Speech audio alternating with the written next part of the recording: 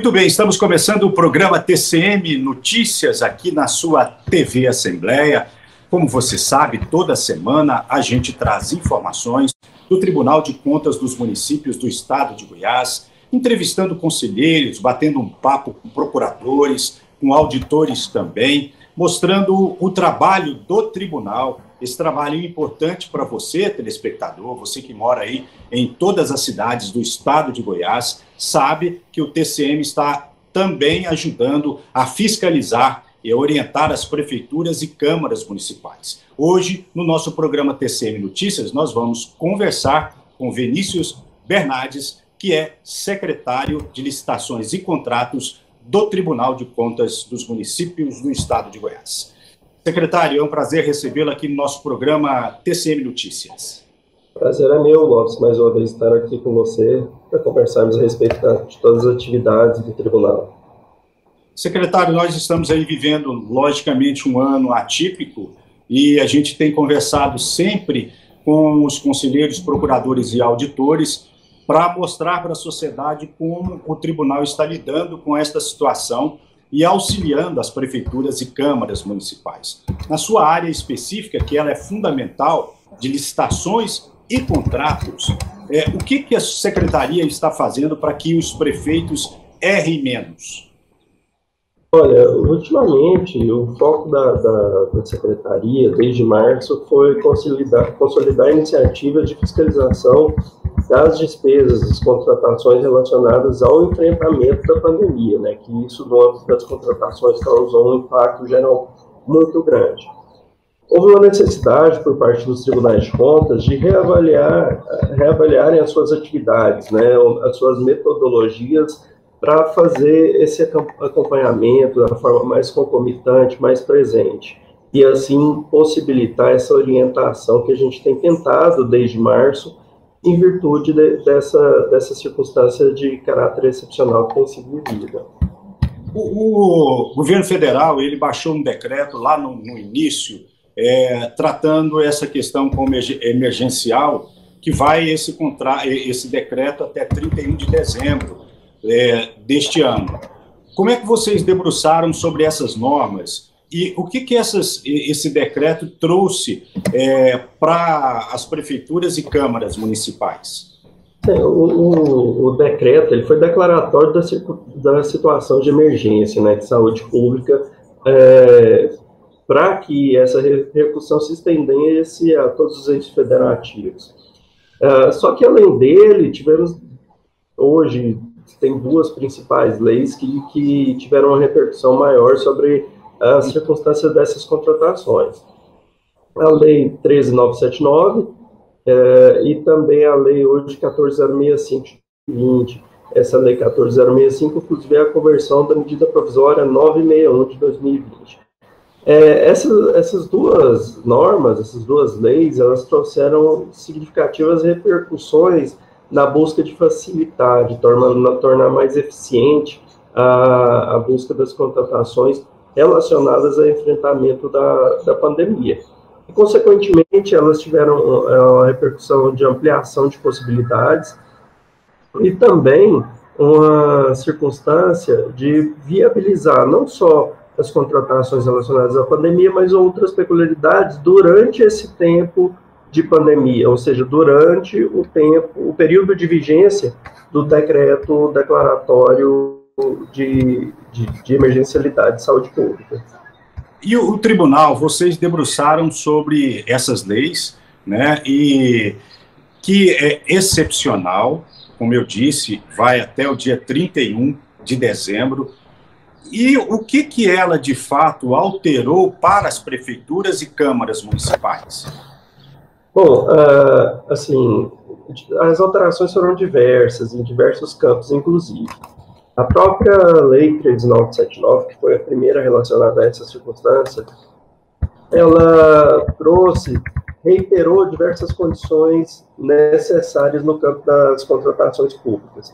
Por exemplo, o dever de transparência, que foi potencializado é, dentro das previsões dessa lei. Já existia essa necessidade de publicidade, transparência das contratações, contudo, em virtude da própria circunstância de excepcionalidade, houve essa necessidade de uma ampliação, como uma transparência absoluta, uma, uma transparência que de fato evidencie todas aquelas, aquelas relações de contratuais entabuladas para o enfrentamento pandemia, da pandemia. Então, essa é uma primeira situação. De, é, além dessa circunstância da, da, da, diretamente relacionada, houve as peculiaridades em relação aos próprios procedimentos de contratação, né, os procedimentos licitatórios, os procedimentos de contratação direta.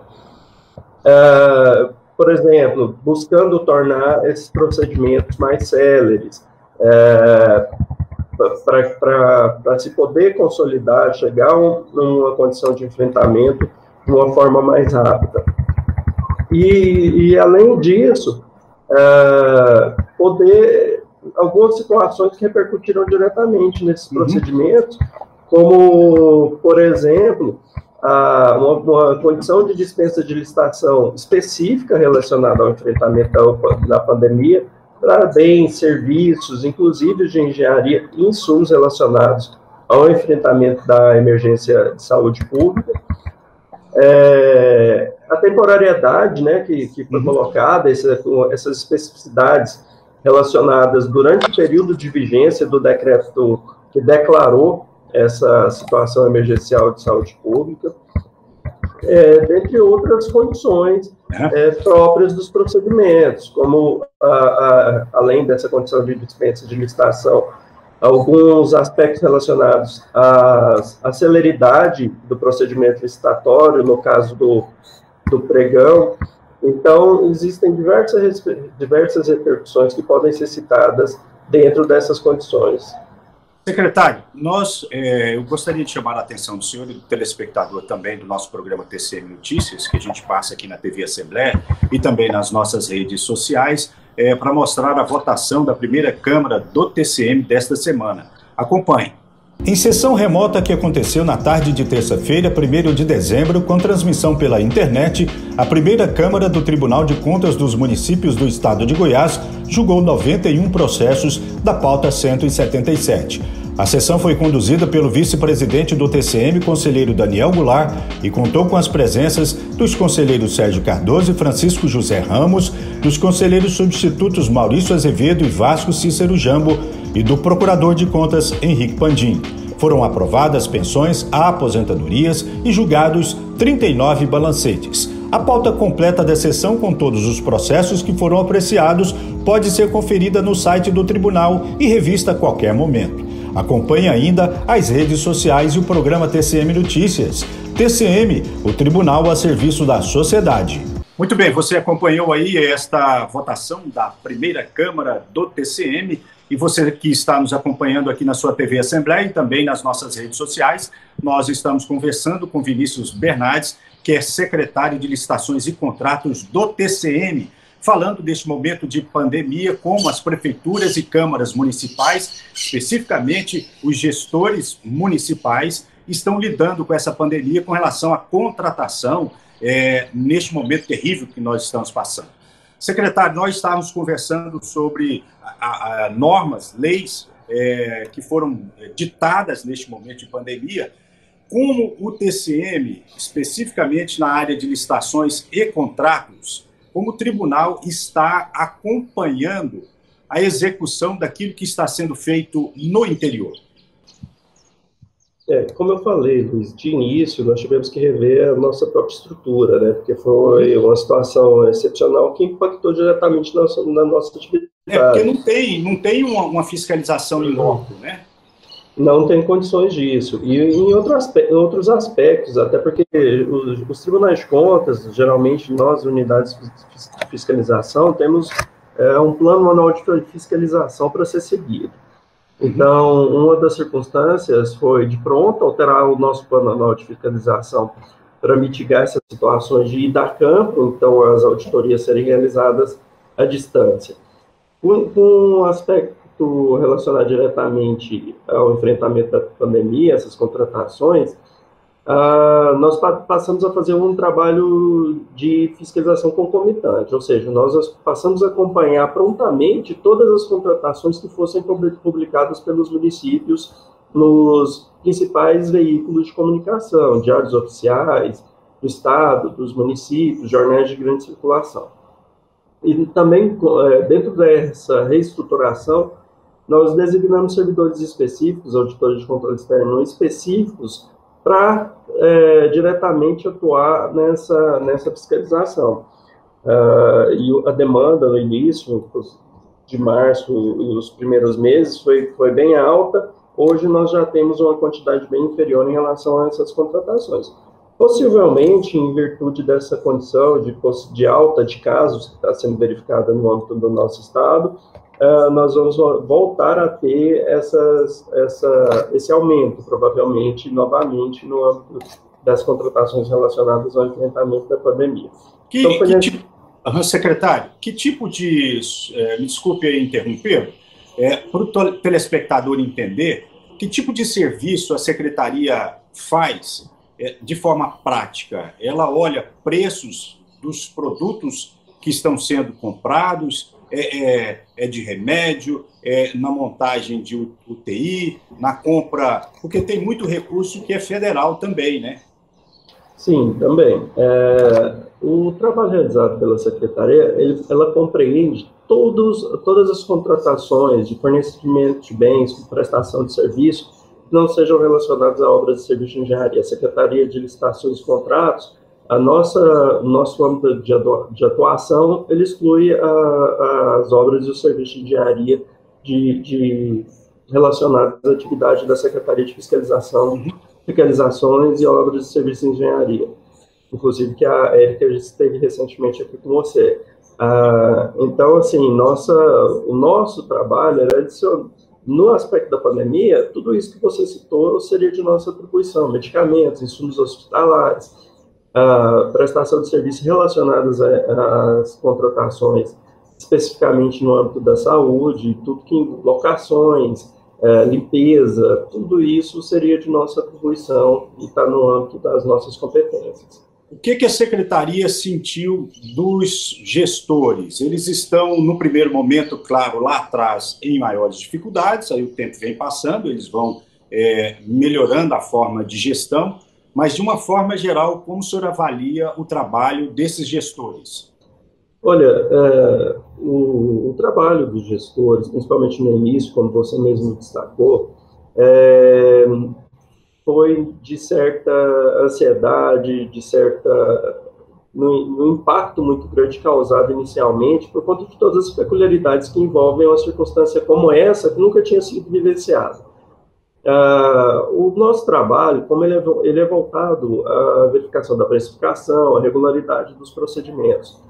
E o que nós podemos, pudemos perceber de início foi essa, justamente o enfrentamento em relação a essas condições dos procedimentos de contratação. De modo que muitas vezes alguns atos acabaram sendo atropelados, algumas referências de preços acabaram sendo ultrapassadas e gerando, eventualmente, contratações prejudiciais às administrações públicas municipais aqui do estado de Goiás. Uh, uma outra circunstância é que, muitas vezes, uh, a, o próprio, a própria realidade do mercado, gerado também pela pandemia, ela impactou diretamente da, da, nos atos de gestão praticados por, pelos prefeitos, pelos gestores de saúde, etc. Houve uma oscilação muito grande de preço de mercado, onde se, onde se compraria, por exemplo, uma caixa de, de máscara cirúrgica a 25 reais, passou-se a comprar a 100, a 200 reais, e agora novamente nós tivemos um recuo desses preços.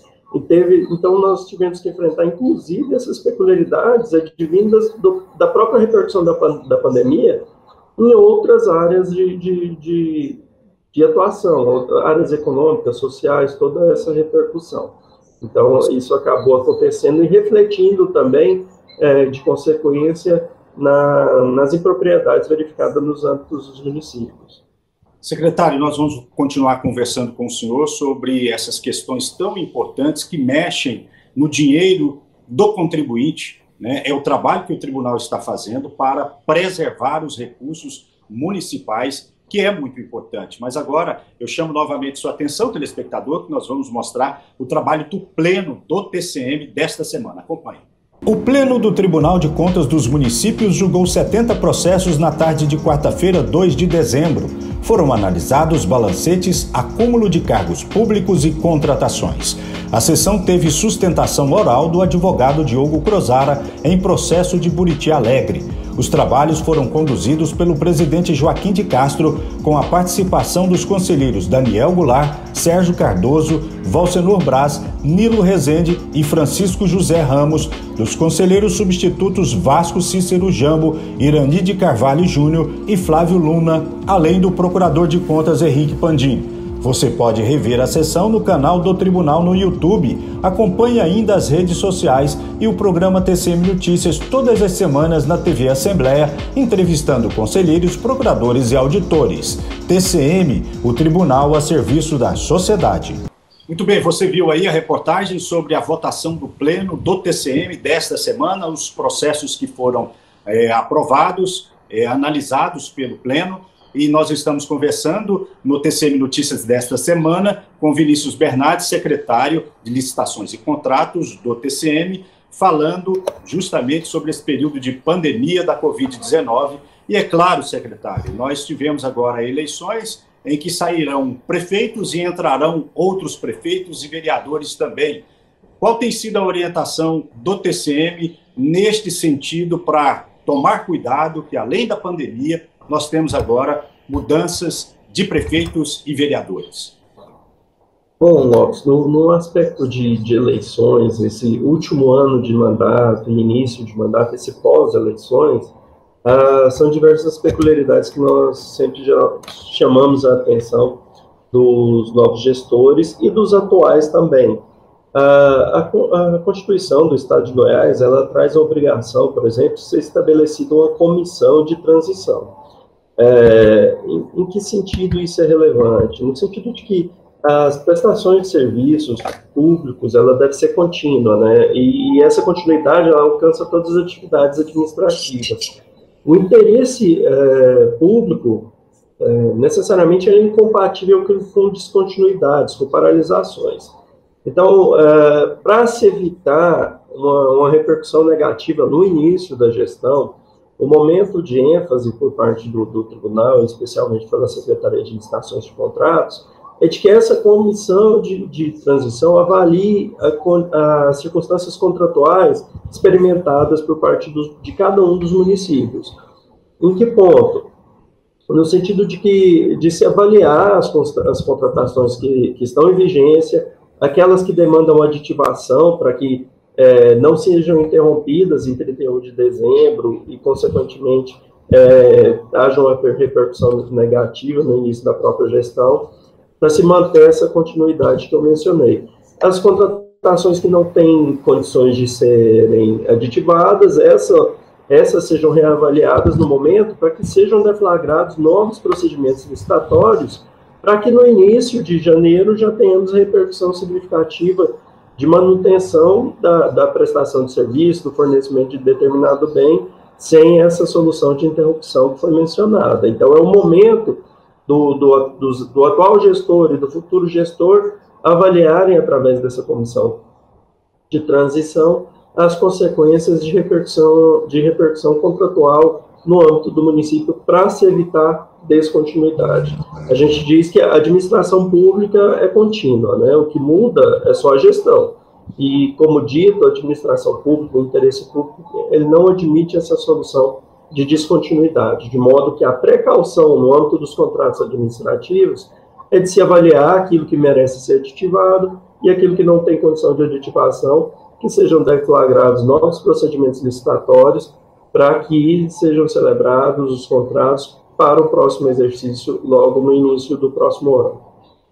Sim, no nosso programa da, da próxima semana do TCM Notícias, nós vamos trabalhar é, essa comissão que foi criada e que está sendo criada pelos municípios para fazer essa mudança é, de mandato é, de 2020 para a partir de 2021 e vamos trazer reportagens sobre este assunto aqui no TCM Notícias. E agora eu chamo a sua atenção para o trabalho da segunda Câmara do Tribunal de Contas dos Municípios. Acompanhe. Em sessão remota realizada na tarde de quarta-feira, 2 de dezembro, com transmissão pela internet, a segunda Câmara do Tribunal de Contas dos Municípios do Estado de Goiás julgou e aprovou 67 processos. Foram apreciados balancetes, aposentadorias, concessões de pensões e admissões de servidores da pauta 180. A sessão foi presidida pelo conselheiro Nílio Rezende. Participaram também o conselheiro Valcenor Braz, os conselheiros substitutos Flávio Luna Irani de Carvalho Júnior e o procurador de contas Regis Gonçalves Leite. Com transmissão pela internet, a sessão pode ser revista a qualquer momento no canal do Tribunal no YouTube. Acompanhe ainda as redes sociais e o programa TCM Notícias toda semana na TV Assembleia, em entrevistas com conselheiros, procuradores e auditores. TCM, o Tribunal a serviço da sociedade. Muito bem, você acompanhou aí a votação da segunda Câmara do TCM. Nós estamos conversando com Vinícius Bernardes, que é secretário de Licitações e Obras aqui do TCM é, mostrando para você como a secretaria está trabalhando para preservar o seu recurso. Secretário, para finalizar, qual é a expectativa do senhor do TCM em relação a 2021? Claro, ainda nós não temos a certeza de como se dará o final desta pandemia da Covid-19. Bom, é, dentro desse cenário de incerteza, a perspectiva é, ela é de indefinição para o momento, mas, contudo, a gente tem uma, uma condição de, de tentar manter a, a, fiscalização da forma como tem sido feita, de acordo com a, com a própria demanda que seja gerada por essa condição que está sendo vivenciada. Então, dessa forma, de início, como não se tem um, um norte para a finalização, pelo fim próprio da pandemia, ainda manter uma, uma fiscalização direcionada especialmente sobre esses aspectos, contudo, sem deixar de lado os outros setores da, da administração pública, né? as contratações de serviços de, outra, de outras ordens que não sejam relacionadas ao enfrentamento da pandemia. É, por, é, seria um pouco de, nesse início de, de próximo exercício, manter as condições que atualmente estamos, e à medida que a gente perceber, que tivermos a percepção de que há necessidade de alteração no, no, na atuação do, do tribunal, isso vai, vai, ser feito, conforme eu falei, de acordo com aquilo que estiver estabelecido no nosso plano de fiscalização. Isso para tentar direcionar nossa atividade para o que demande, para aquela demanda que seja mais relevante naquele momento no âmbito das administrações municipais de Goiás. Mesmo porque, né, secretário, há preocupação do tribunal, porque nós teremos novos prefeitos, em boa parte, também novos vereadores, e esses vereadores, prefeitos e vereadores que estão saindo, os prefeitos terão que depois acertar as contas com o TCM futuramente, né? Justamente, Lopes, esse é um ponto muito importante, até porque é, a, o início de gestão, ela, ele guarda muitas peculiaridades, em especial para aquele gestor de, de primeira viagem, vamos dizer assim né, que está no seu primeiro mandato, sem a, a, necessária expertise que muitas vezes envolve a gestão pública. Então, uh, tem as suas peculiaridades em todas as ordens e no campo da, da, das contratações, especialmente, que muitas vezes, não só para o próprio gestor, mas às vezes ele se cerca de uma assessoria com a, com a condição técnica um pouco precária, o que pode prejudicar essa, essa atividade.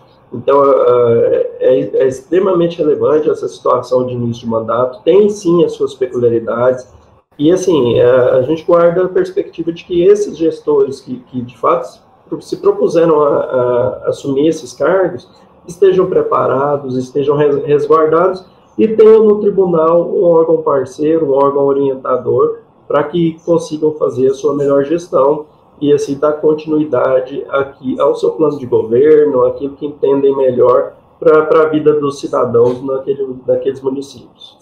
É isso aí que você tem falado, a questão da orientação, que foi também uma determinação do presidente, conselheiro Joaquim de Castro, que o tribunal se voltasse mais para a orientação do que a punição, para evitar erros, porque depois que tem o erro, já fica mais difícil de consertar, né, secretário? Eu agradeço o senhor aqui pela participação do nosso programa TCM Notícias, com certeza voltaremos a conversar mais, porque isso também é de interesse da sociedade, da população, e o que nós estamos fazendo aqui da comunicação do TCM é levar esta mensagem para os gestores, que neste momento de pandemia, principalmente agora, é preciso ter cuidado com as contas. Muito obrigado, senhor. Eu que agradeço, Lopes, mais uma vez ter a oportunidade de um bate-papo aqui com você e fico à disposição para a gente sempre levar essa informação para todos os telespectadores do nosso programa. Muito obrigado, secretário. Olha, você que nos acompanhou, fica aqui com nossos canais de interação. Ligue para a gente, dê a sua, faça a sua pergunta. Estamos aqui para trabalhar para você, telespectador.